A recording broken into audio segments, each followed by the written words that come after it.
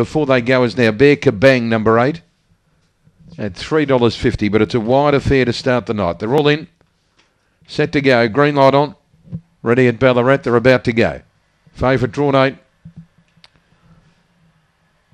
racing. And Glendenning won the start, joined by Doran's Ash out in the centre, going up Bear Kabang, Norrendale on the rail, then Avatar Gracie, Serendipity Gem, Dinah Pietro the tail ender. Doran's Ash mid race out by three, Bear Kabang running on on the rail, Glendenning, well clear Avatar Gracie, Serendipity Gem and Norrendale. In the straight, Bear Kabang gets to Doran's Ash and takes the lead now, and Bear Kabang careers away. Bear Kabang easily beats Doran's Ash and Glendenning, running on for fourth, Avatar Gracie, then Norrendale, followed by Serendipity Gem and Dinah Pietro, and the run on the first is 22.40.